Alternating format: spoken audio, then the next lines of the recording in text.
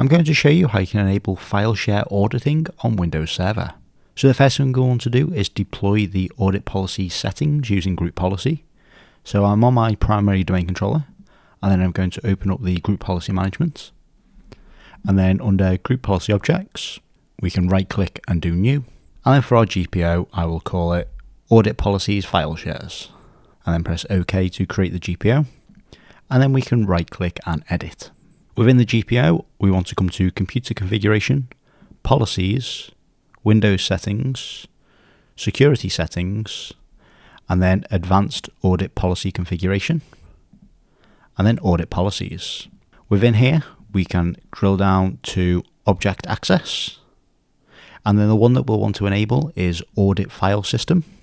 So we can just double click, configure the following audit events, and then enable success and failure. Once they're ticked, we can press apply and OK. And then that is our group policy created.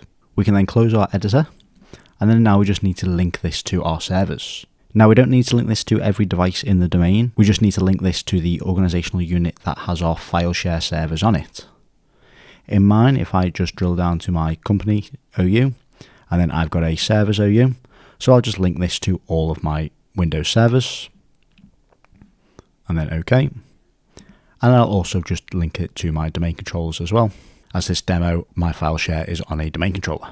So now we've got our GPO deployed, what I'm going to do is just do a quick GP update, just so my machine pulls down this latest policy. In a production environment, you wouldn't need to do this, you would just leave it to automatically update, but for this demo, I'm just going to force it so it's quicker. So now our group policy is up to date. The next thing we want to do is find our file share on our server. I might just called share, and then I'm going to right click and come to properties, and then under properties, we can come to security and then advanced. Now I'm going to assume that you've already got your file share permissions already set up and working. So what we need to do now is come to the auditing tab and then we can press add, select the principal. The way I do this is search for everyone and then check names so that anyone who is accessing this file share or any files or folders within it will get an audit log. So once we've selected everyone, we can change the type to all leave it to this folder, subfolders and files. And then if we clear all the permissions and then show advanced permissions, the ones that you'll want is create files slash write data, create folders slash append data, delete subfolders and files, and then delete. So what this does is anytime a file is created, it will write an event to the event viewer. Anytime a folder is created, it will write an event to the event viewer and then anytime a subfolder or file is deleted, it will write an event to the event viewer. What you can also do is enable list folder slash read data. What this will do is anytime a file is opened, it will it will also write an event to the event viewer.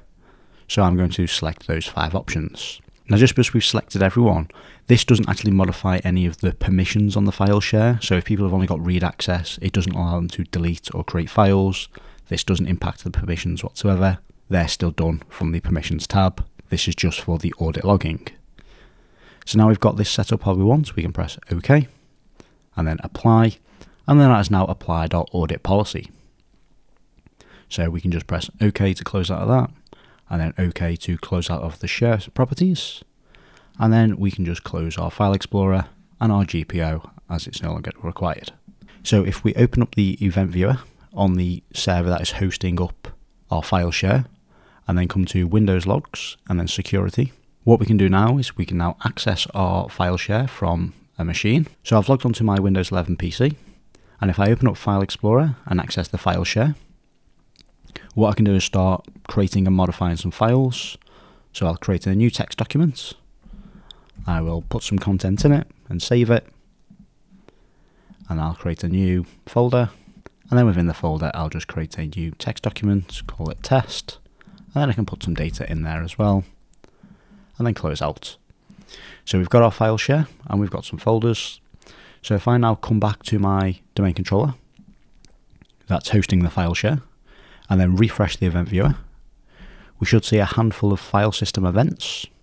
So if we look through these, we can see that the file was accessed by the account AD administrator. That was when I was setting up the permissions. And then this one should be the ones I've just done. So we can see I created a new text document. So we've got the object name, which is the local path of the server, not the share path. And we can see we've got write data or add files as the access request. And we can see that it was done by the user account ad backslash Danny. And then if we just go through these events, we can see that we've got our write data. So this one is the creating the text documents. The next one is adding the content and saving it. So we can see that we've created now the new text documents and then we can see that it was then deleted because it was renamed to test. And then we've also got the one for modifying and creating a new folder called new folder. So we can see that our audit policy is now working and any changes that are made to our file share is being logged to the server. Now what I'll do is I'll just go back and if I just delete both of these, that'll delete all of the files and folders from the share. And if I come back to the event viewer, we can see there's new events available. So if I refresh, we should see the delete request for the new text document. An object was deleted for the folder that was deleted as well. And then the test file that was in the folder, we can see there's the delete request. So that is how you can set up audit policies for Windows Server file shares.